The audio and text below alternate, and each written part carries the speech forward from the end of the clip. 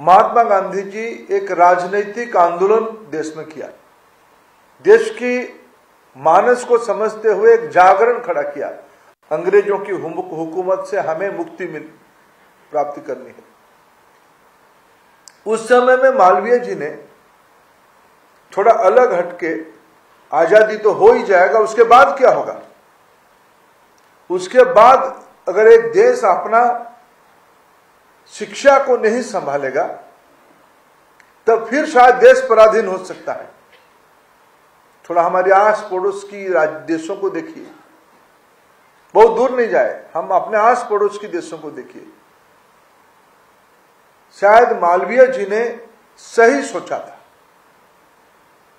BHU बना, और मैं कभी कभी देश की आज़ादी की पहले और आज़ादी के उपरांत जो इंस्टीट्यूशन सब बने हैं उस इंस्टीट्यूशंस की जगह मैं थीम कंटेंट पढ़ता हूँ, उसकी ध्येय वाक्य पढ़ता हूँ, तब एक एक शब्द में एक संपूर्ण तत्व हमारे सामने आता है, जिसमें मैं अगर चार पाँच लोगों को पिछले ऐसा कहा जाए तो 200 सालों में स्वामी विवेकानंद, योगी श्री अरविंद महात्मा गांधी, मदन मोहन मालवीय, सर्वपल्ली राधाकृष्णन, जी अगर मैं उदाहरण दे पाँच लोगों को लू, पाँचों ने अपने डिस्कोर्स में सबसे महत्व किसको दिया है? किसी ने राजनीतिक आंदोलन खड़ा किया, किसी ने देश की आध्यात्मिक आंदोलन खड़ा किया, किसी ने रेनेशा किया, किसी ने इंस्टीट्यूशन बिल्डअप किया, किसी ने कंटेंट डेवलप किया।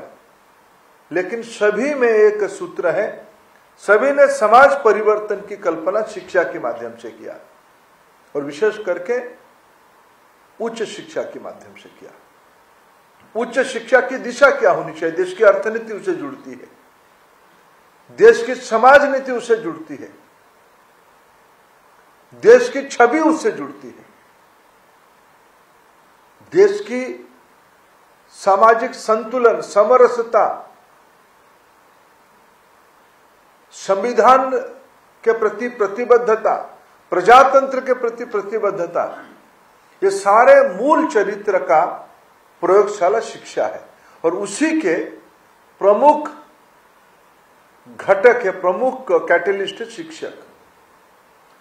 आज यूजीसी ने 19वीं सदी बहुत पुराना ना जाए तो देश में गुरु शिष्य परंपरा और ज्ञान की परंपरा, भारतीय ज्ञान की परंपरा जो आठ मॉड्यूल बनाई गई है, उसमें से इसको भी रखा गया है कि भारतीय ज्ञान परंपरा के बारे में भी चर्चा की जाएगी।